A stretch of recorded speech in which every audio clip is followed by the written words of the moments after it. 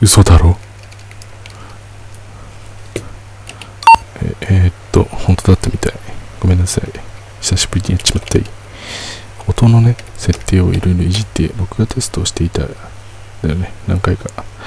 でその後本編を撮っていたんだけど終わろうとしたら、うん、X をしても反応ないなと思って。ずっとしたらピンポンっつって撮り始め。撮り始めて。だいぶだいぶ散ってない。よし。なかったことにしよう前回の分は、うん、知覚過敏とか富士山の話を流した同じく超いい感じに喋ってたんだけどね知覚過敏から富士山の話に行ったんですごくね。すごくね。それは褒めて。うん。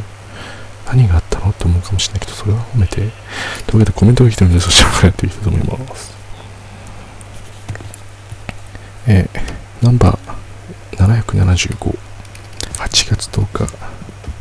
水曜12時8分一発です。ありがとう。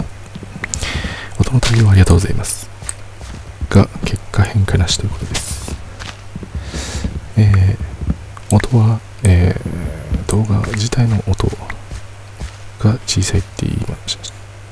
動画全体の音が小さいって言いましたがではなく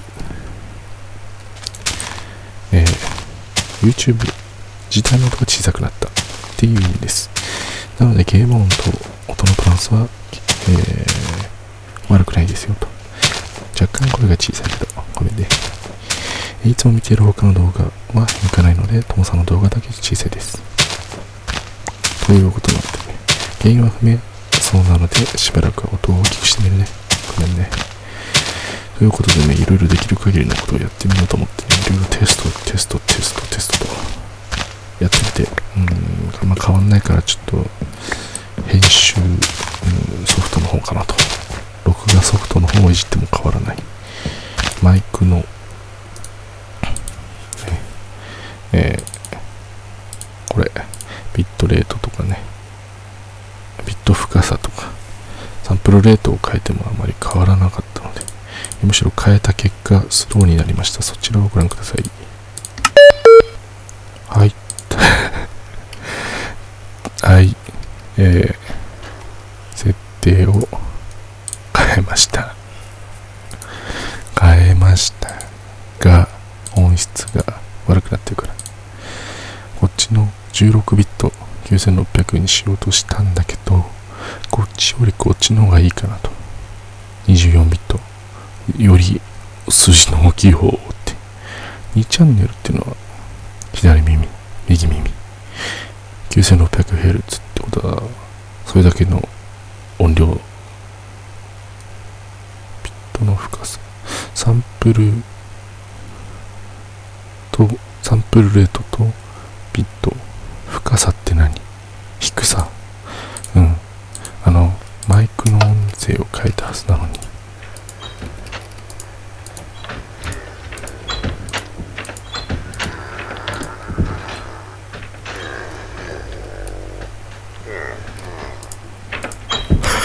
あれあれ超みんなの声が超スローになってるごめんちょっとこれ違うのあれなんでだ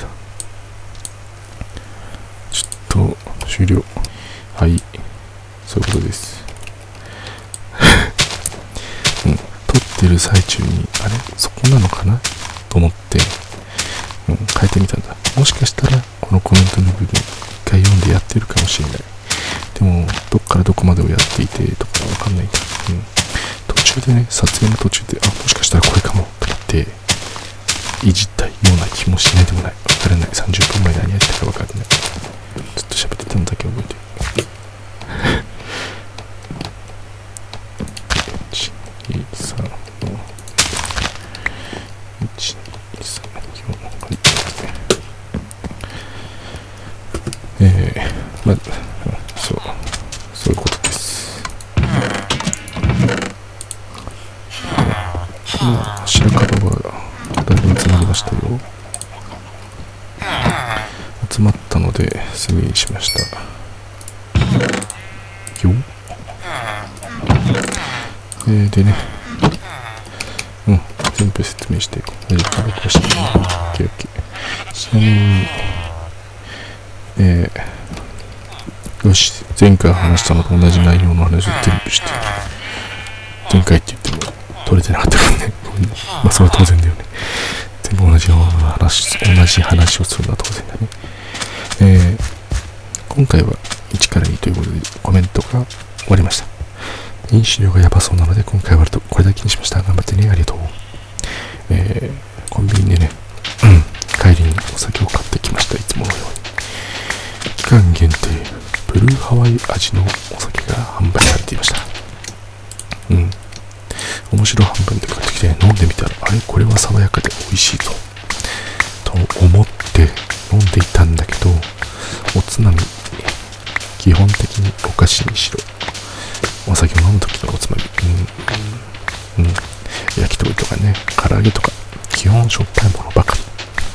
そのしょっぱいものを食べて、ブルーハワイ味の甘いお酒を飲む。しょっぱいものを食べて、甘いお酒を飲む。うん。すごい合わないってなってね。うん、全然合わないし、どんどん飲めば飲むほど、ブルーハワイのシロップ感が半端なくなってきて、これシロップ飲んでんじゃねえかっていう錯覚を覚えてしまうほど甘い。そう、気持ち悪くなったので、結局、飲みませんでした。もう一個、えー、ストロングゼロのレモン味、レモンサワーがね、買ってきてたんだけど、うん。まあ、もういいやって感じで。一応お酒ではあるからさ、半分ぐらい、500ミリ缶の半分ぐらい、250ミリを飲んだあたりで、うん、もういいやとはなったけど、それぐらいのアルコールは飲んだし、さすがにストロングゼロは、ちょっと強めのお酒なのでね、気分、気持ちね、気持ちいい。強めだから、撮影前に飲んじゃうと、それこそね、うん、不定に支障が出ると思って、うん、飲まなかったんだけどね。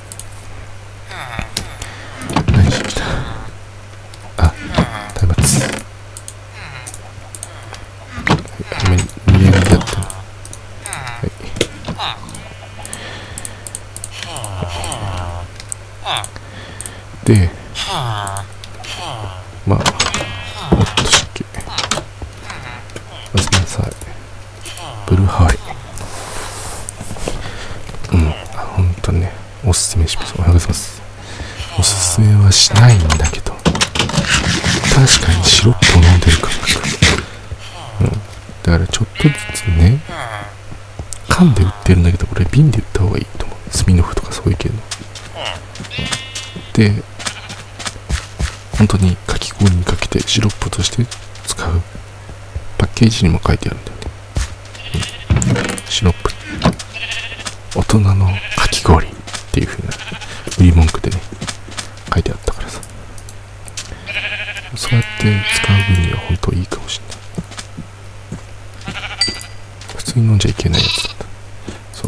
そ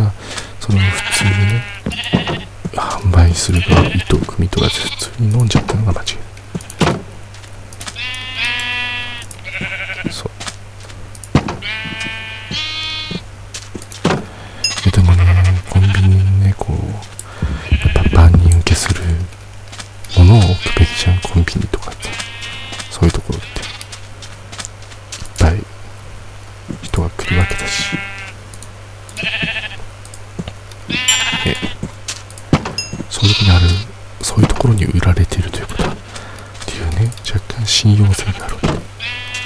まあ、売られているイコール美味しいんだろうなっていうのがあるわけじゃん。まあ、実際まずかったんだけどさ、裏切られたんだけどさ。うん。ねえ、びっくりした。まあね、かき氷食べたいよね。さあ、ここで知覚過敏の登場です。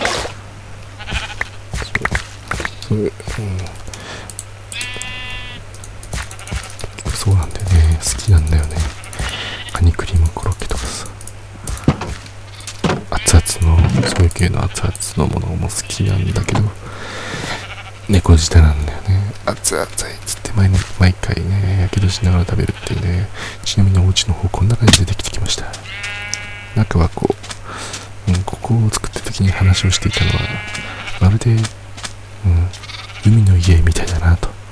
砂浜みたいな。夏夏だし、うん、海っぽいなと、うん、海の家にあるシャワールーム。こんなんじゃない。ちょっと上が見えてるみたい。そう。本当はこれこんぐらいの大きさの、うん、違うな。上だけ大きく開いててね、うん、砂が足りなくて、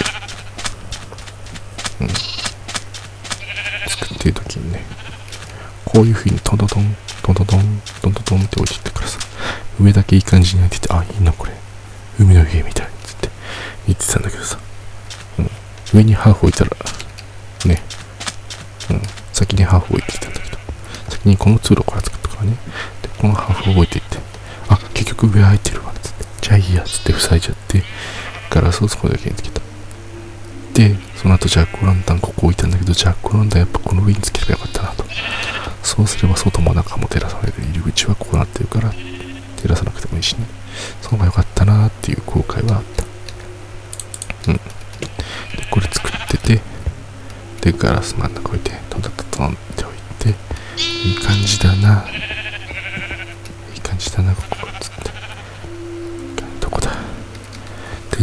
言って砂が足りなくなったから取ってたんだそう。取ってた四角花瓶の話とかしてあとラプンツェルの話してた。ラプンツェルじゃないんだよ。クッキーの話をしたかった。うん。そう。だから久しぶりに買い物でミスったなっていう話をしてて。そうそうなかったからな。人生で2回目なんじゃないかなっつって。1回目なんだっけなっつって。1回目なんだ。ラプンツェルを買っ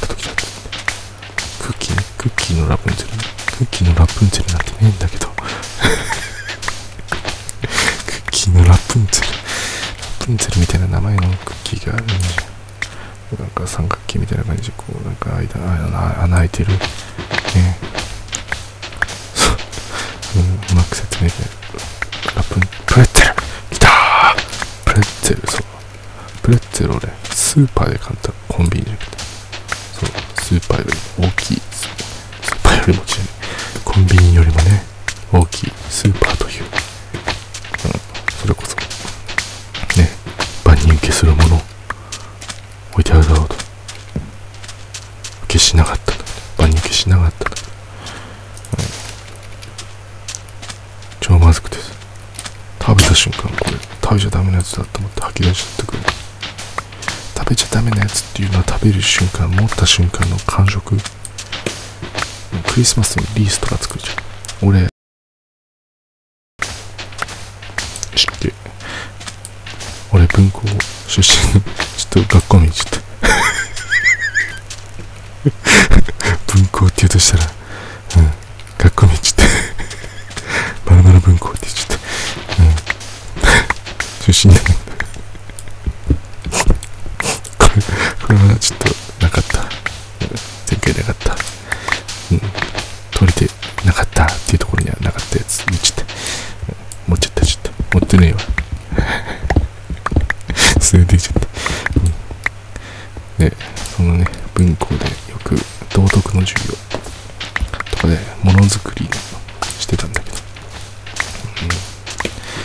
クリスマスリースっていうか、うん、ボードにマカロニを、うん、ボンドでくっつけてちょっと葉っぱとかをねつけてドアの外に飾るみたいなそういうものをね作ったりとかしてたんだけどその感覚にかん手で持った時の感覚に似てたの。マカロニみたいな、うん、プレッツェルがね。えこれ？飾るやつ？じゃねこれ飾ったらいい感じになりそうだなと思いつつね食べたらそんな食べられない味するからあこれ食べちゃダメなやつつって吐き出したんだけど。確か賞味期限が1ヶ月ぐらい過ぎてたかな。びっくりでしょ。さって言ったけどびっくりでしょ。ベルルルってしたでしょ今背背筋がベルルルってなったでしょ背筋ゾワゾワってなってブルルルってなったでしょ怖かったでしょねえ衝撃って言ったらトラックにいきなり跳ねられたみたいな感じでしょ。引っ掛けたって。なったでしょ。ね。えそんな商品売ってるんだぜ。大きいスーパー。それこそ CM でも出てるスーパーで。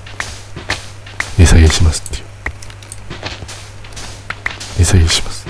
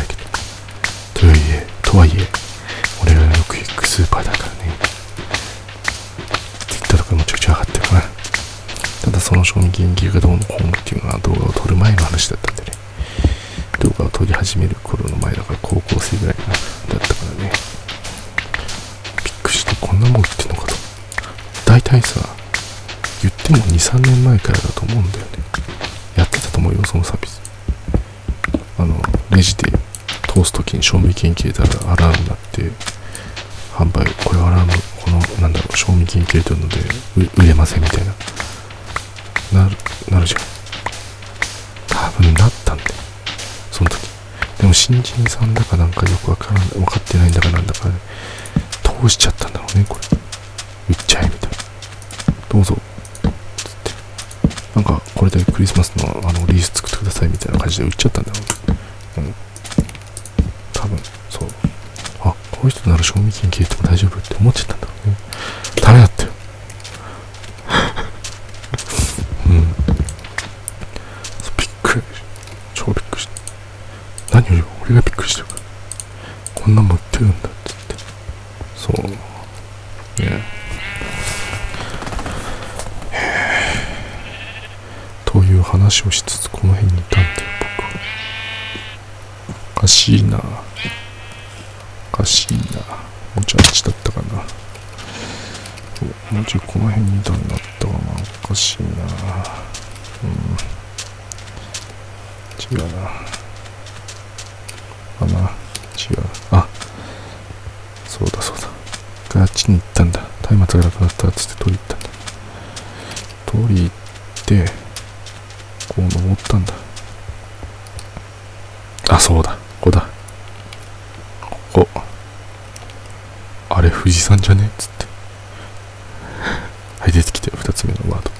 ド知覚過敏と富士山ほらあのシルエット富士山でしょ。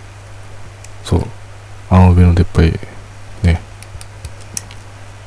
おやすみなさい。あのあの上の出っ張りね。ありがとうございます。照らされていたでしょちょっと。うん。あほら富士山いやあの上の出っ張りいらないでしょ。取り行こうっつって取り行ってたから俺そう結果結果ね最初コップンとかコップンじゃねえ骨とか持ってたでしょ。あれそうだから 何も考えず。あもう取り行こうっつってあの上の出っ張り取り行こうっつってなって。うん。そう。富士山。いつもいい感じに見えるけどスカイツリーがちょうどなんか突き出てて景観を損ねるみたいなそんな感じになっちゃってるから取りで実際は多分そういう風になったら嬉しいから逆に写真撮りに行くかもしれないけど。出されてるでしょ、うん。うん、頑張って掘りすぎたんで。だいぶえぐってよ俺。だいぶえぐった。それこそ、うん、えぐったのはどれぐらいえぐったのかが分かるぐらいえぐった、うん、びっくりするぐらいえぐった。で帰り道。スケルトにンに56体のスケルトに襲われそれを全てさばききったんだよね、うん、あそこに小屋作ってよかったよなつって。あの小屋に逃げ込んでベッドに寝たんだ、うん、で起きて日差しの力を借りて狩る。はい来た。はい来たほら。わかる？このえぐり方わかる？どっからどこまでえぐったと思うそうあそこまで行ったからだいぶでしょだいぶ行ったでしょで近いようで意外と遠いんだよほらこの距離まあさっと来たけどさ帰り道見るとさすごい遠くない？空襲われるわっつって。ねうん。あっち行けばよかったんだけどさ。あっち近かった。今思えば。うん。ここで出ました富士山の話。超いい話してて俺。超いい話してた、うん、びっくりするぐらいいい話してた。くぐらいいい話してた。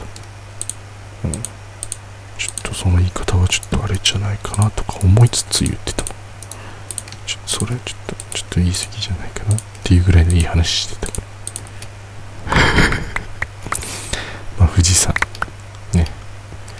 世界遺産ありましたがなぜ選ばれなかったかとあったわけじゃんいろいろ問題がゴミ問題がねなんで汚すのかとそうそうこの俺の富士山をなぜここでこんなにもの量のゴミで汚すのかと持って帰れよって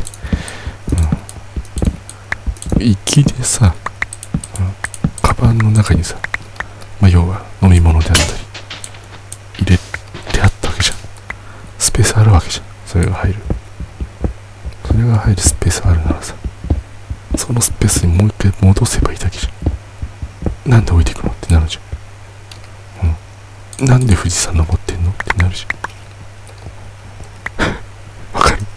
わかるかな？やっぱ2つあると思うんだよね。まあいくつもあるだろうけど。大まかに分ければ2つなんじゃないかなって思ってる。俺はね自分との勝負的なやっぱね山登り、大人数で行ったとしてもやっぱ分のこのペース配分であったりね辛い。でもその辛さに打ち勝つっていうこうね自分との戦いであり。やっぱさ俺がもし高いとしたらさこう綺麗な景色を見見たわけじゃんねそれねまず自分との戦いで登ってる人がそういうゴミを落としていってるんだとしたらもう自分との戦いに負けてる。よ そういうものを捨てていくっていう。置いていってしまう。要は荷物を軽くしてしまうという、うん。あ、負けてるじゃん。で綺麗なものを見たいのに。見たいために行く。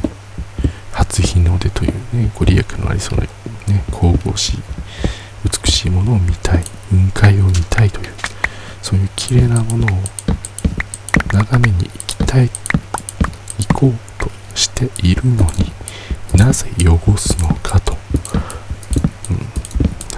うん、そういう話をね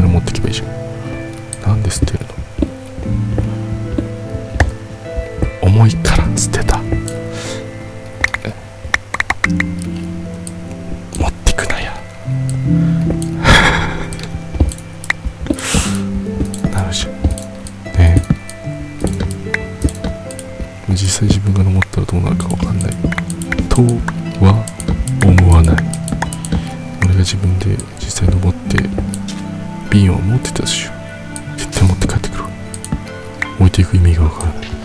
置いていく意味なんてない。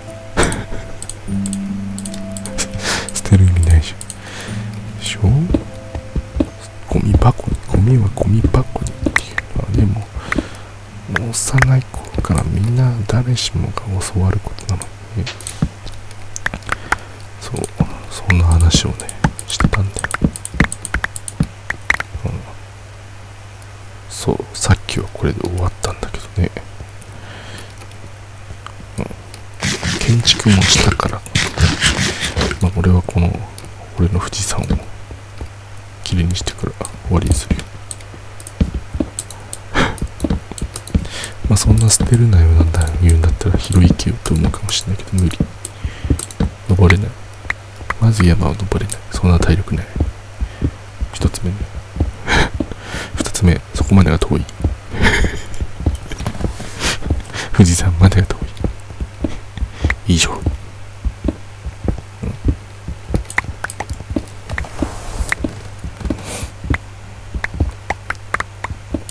うん、仮にそうまでして広に行ったとしよう。俺一回も富士山登ったことない。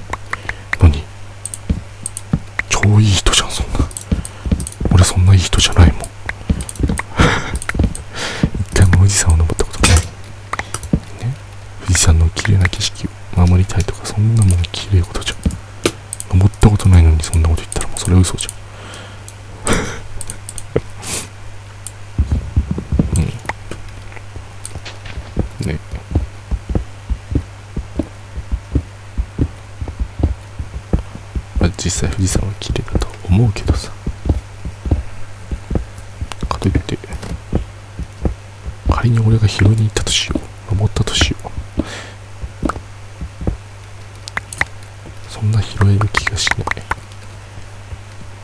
うん、そこまで登れないから。登れないから。そんな拾えないと思う、うん、しかも初心者がそんなねやったって。うん。ただでさ高山病になるわそれこそ。山登り自体そんなしたことない。するとしてくれ。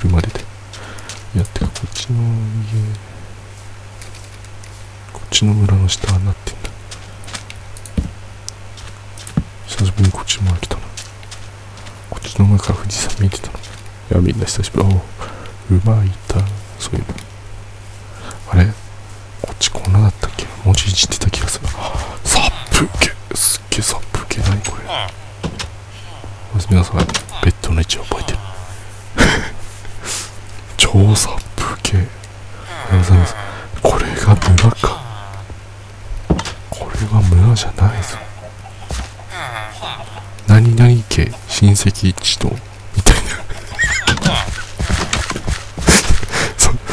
感じだね、今見ると。今まで俺は冒険しててこれ、これを見つけて超喜んでたのにな。今、ショックしかなかった。ちょっと、ロレツが回らなくなってきたぞ。さすがに1時間ぶっ続けで喋ってるから。1時間以上喋ってる。記録更新ってね。で、これでね、アラームが作動していませんでしたっつってね、実はもう30分過ぎてましたとかさ。なかった。よかった。撮影できてませんでしたっていうのはなかった。よかった。これ撮影できてなかった。その、あの、その日の分は、ごめんなさい、お休みしますって動になるわ。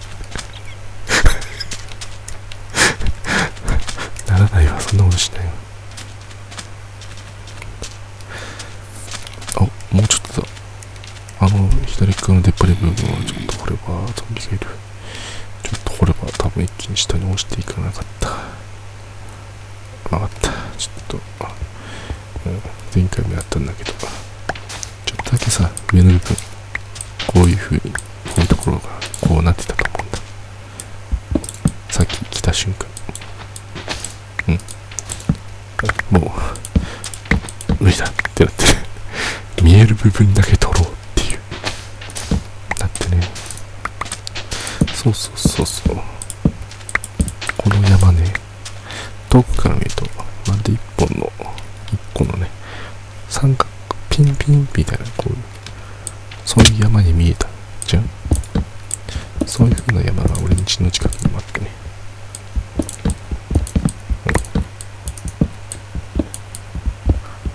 うん大きさが変わる山がね、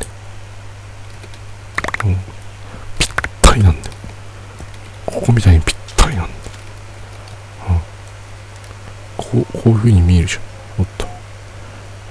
一個の山じゃん超ぴったりなんだけどなんだろうその日の天候によって高くなったり低くなったりするっていう山があるうんもうちょっと話し方が下手だったからもう全部答え分かった状態でこいつ何言ってんのみたいになっちゃったから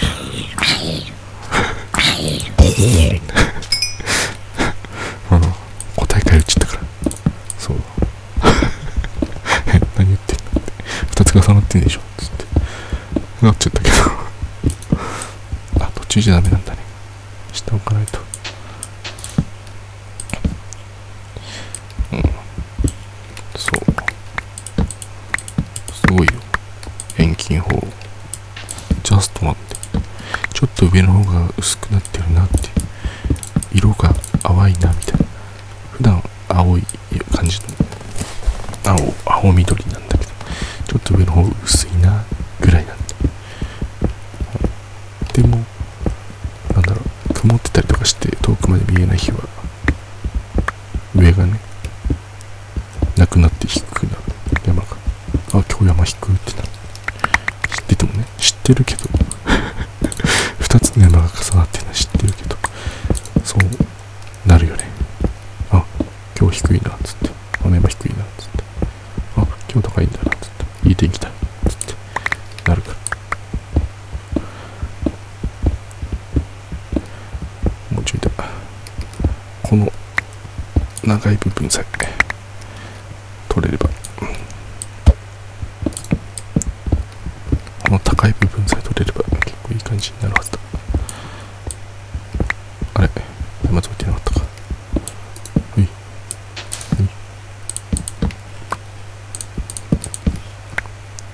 ここもここ取れば落ちていく。ここも落ちていく。ここも落ちていく。落ちていく。落ちていく。壊れた。もうちょいだ。でも砂としても持って帰りたいんだよねちょっと何個かこうすればいけるなまだよいしょあ腐った肉のせいで圧迫された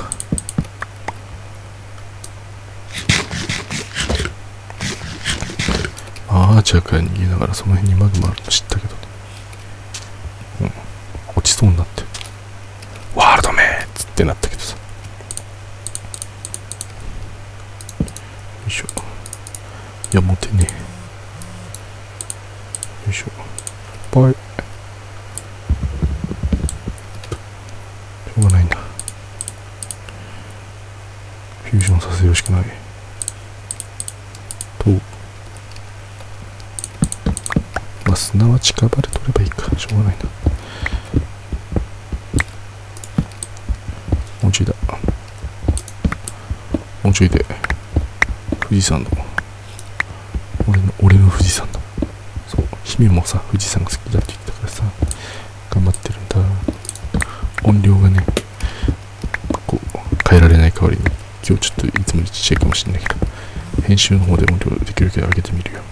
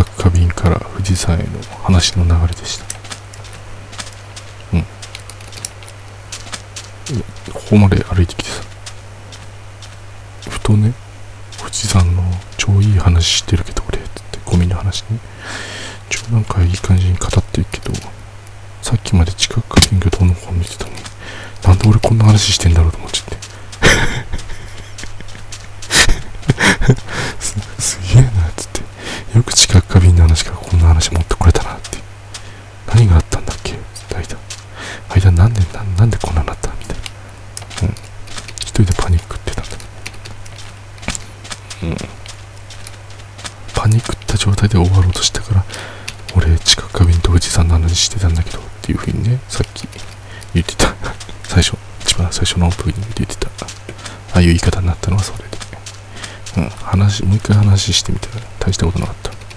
実際富士山っぽい山見つけて走ってっただけだった。